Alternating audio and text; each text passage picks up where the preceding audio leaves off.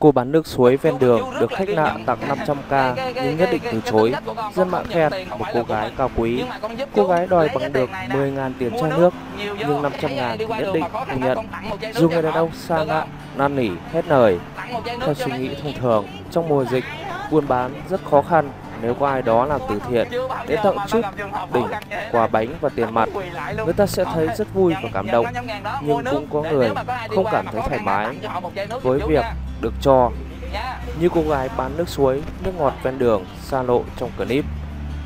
Là bóng hụng người đàn ông nổi tiếng khắp sài gòn với chiếc cúp chở đầy bánh ngọt, sữa, khẩu trang, dầu gió, vân vân tặng bà con nghèo những người lao động mưu sinh trên đường có lẽ không thể ngờ có ngày anh bị từ chối phũ phàng như thế.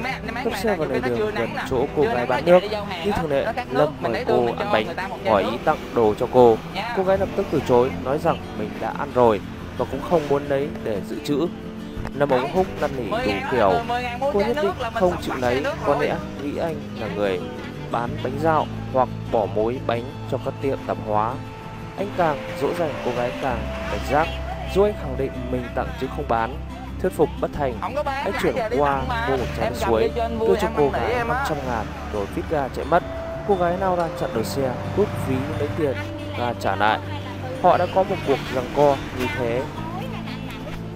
Đó là lần hiếm hoi đi từ thiện mà Lâm Bố Phúc bị từ chối và anh phải ngả mũ trước cô chấp nhận việc không tặng được quà. Những câu chuyện giữa họ thì tuyệt đẹp và Lâm Ông Phúc như đã khai mở cho chúng ta một góc nhìn khác về chuyện từ thiện. Em rất tốt.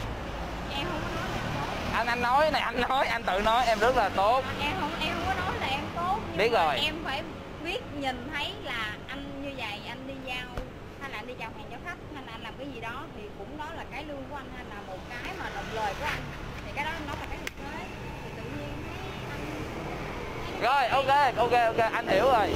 Em giữ sức khỏe nha. Thì cái cái mà anh đi làm á, công quả hay công đức hay là làm một bất kỳ bất kể một cái gì luôn.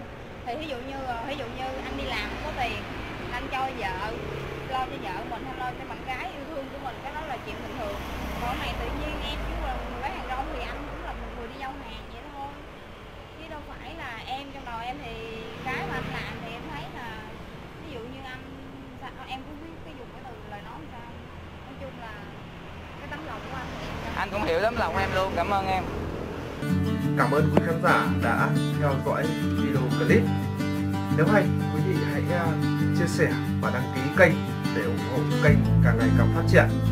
Xin trân trọng cảm ơn quý vị rất nhiều.